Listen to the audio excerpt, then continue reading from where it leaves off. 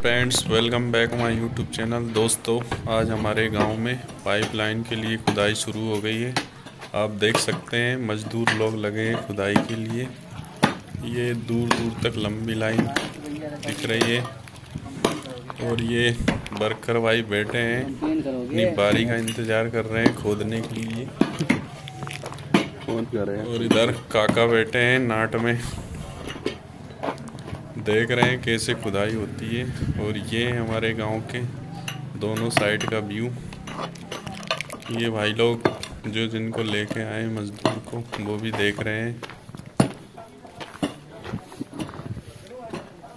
और इस बार नई पाइपलाइन डलेगी जिससे पीने के पानी की व्यवस्था की जाएगी सभी घर घरों में। और काफ़ी अच्छा माहौल है। गाँव वाले बैठे हैं बाहर अपने अपने घरों में। तो बने रहिए दोस्तों वीडियो में।